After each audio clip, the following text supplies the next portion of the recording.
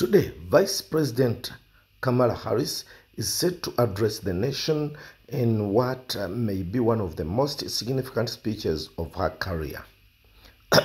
Following her loss in the presidential election, Harris will deliver a, conce- a concession speech this afternoon at Howard University. Her alma matter where she'll urge her supporters to accept the election results and find common ground as a country. Throughout her campaigns, Harris inspired millions, especially young voters, with her message of unity and progress. She is expected to thank her supporters today and remind them that the work to bring change doesn't end here. Aides say Harris's speech will reflect the themes she's championed during her campaign a focus on finding common ground and building a brighter future together. Supporters have been invited back to the yard and Howard University, where last night's celebration slow, slowly turned to disappointment as election results became clear.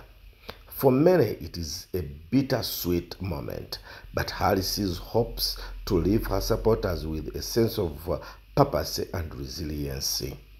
Currently, Harris is uh, at the Naval Ob- Observatory with her team, including lead speechwriter Adam Frankel, finalizing her remarks.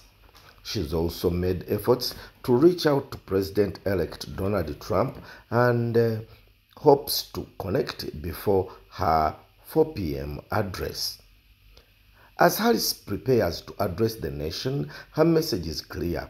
Democracy is stronger when all accept the outcome, even when it is difficult. She believes now at the time this is the time to unite and focus on what we share as America. Stay tuned this afternoon to her full concession speech as he, she calls on her supporters and all Americans to come together. Whether in victory or defeat, Harris' message remains we are stronger together.